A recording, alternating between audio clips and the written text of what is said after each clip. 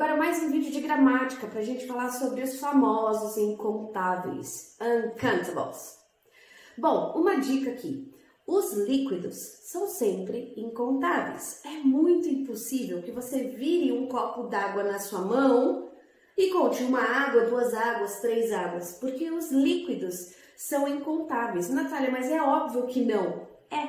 O que nós contamos são os litros, são os mililitros, são as latas, são as garrafas, são os copos.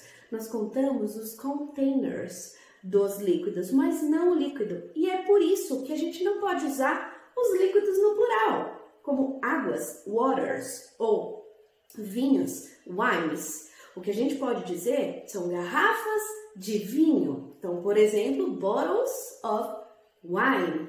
O que a gente pode dizer são copos de leite, como glasses of milk, e assim por diante. Então, nós podemos sim contar, contabilizar os containers dos líquidos, mas não os líquidos. A gente não coloca os líquidos no plural. Eles são sempre uncountables. We cannot count. Para memorizar, não tem como a gente colocar no plural. E se eu quiser falar, eu posso usar um quantifier, some. Então vamos lá para aquela famosa pergunta: Would you like some coffee? Would you like some water? Você gostaria de um pouco de café, um pouco de água?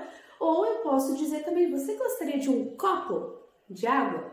Você gostaria de uma xícara de café? Would you like a glass of water? Would you like a cup of coffee?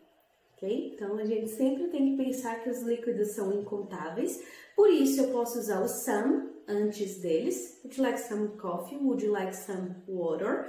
Ou eu posso usar o container, o objeto no qual a gente coloca o líquido, tá? E a gente se vê no próximo vídeo. Bora praticar! Até mais, tchau, tchau!